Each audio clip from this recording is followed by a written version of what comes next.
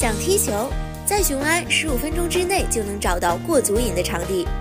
雄安新区建设进展频频登上河北新闻联播。新区以小型足球场建设为引领，带动整体体育场地发展，完善体育基础设施，让更多居民走出家门，动起来，跑起来，形成十五分钟健身圈。过去因为找不到合适的场地，很多球迷想踢球却无处下脚。现在在雄安新区，不仅足球场数量多，还和周边企业、公园、居民区相邻而建。比如华旺城的足球公园里就设有儿童足球场、五人制足球场两种场地，与产业园、居民区融为一体。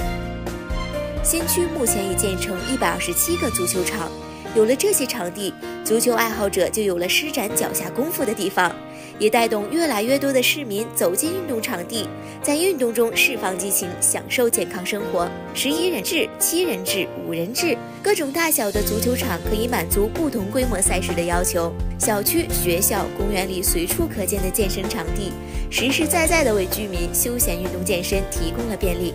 目前，雄安新区已实现平均每万人拥有足球场地零点九八个，超过全省平均水平。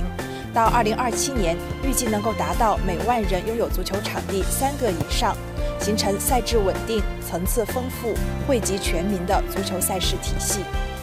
全民健身的热潮正在持续涌动，雄安新区域成功举办了涵盖各个年龄段的多场足球赛事，让不少足球爱好者都感受到了足球的魅力。绿茵场上的纵横驰骋也展现出这座未来之城的生机与活力。